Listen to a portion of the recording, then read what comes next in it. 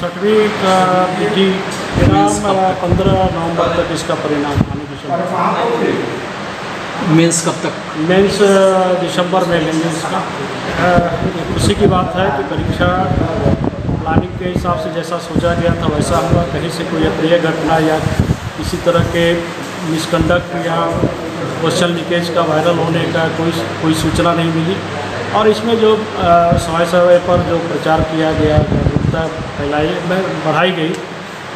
आप मीडिया के द्वारा चाहे प्रिंट मीडिया हो या इलेक्ट्रॉनिक मीडिया हो, इससे सफलता मिली है। सब लोग को हम थैंक्स देते हैं।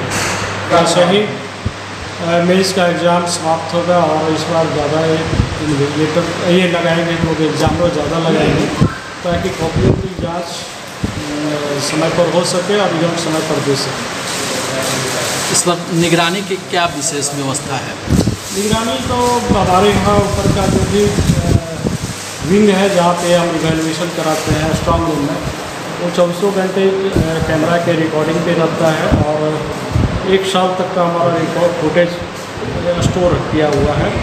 और यहाँ पे स्ट्रॉन्ग ए मीटिंग हॉल जहाँ पे आप बैठे हुए हैं यहाँ पे अभी प्रेस ब्रीफिंग हुई है यहाँ पर भी उसका ये दिया गया है कैमरे में डिस्प्ले टीवी पे डिस्प्ले होते रहेगा सारी प्रक्रिया जो हम अपनाते हैं कैसे काम हो रहा है कॉपी जाँच हो रही है स्कैनिंग हो रहा है ये सारा चीज़ यहाँ पे डिस्प्ले होते रहेगा कोई भी आकर के यहाँ पे देख सकता है कि हम कैसे काम हैं। 68 और 69 की क्या प्लानिंग सिक्सटी एट तो इस महीने के लास्ट तक उम्मीद है कि विज्ञापन में जाएगा और सिक्सटी नाइन्थ तो अक्टूबर ये अगस्त में होपफुली हम निकाल पाएंगे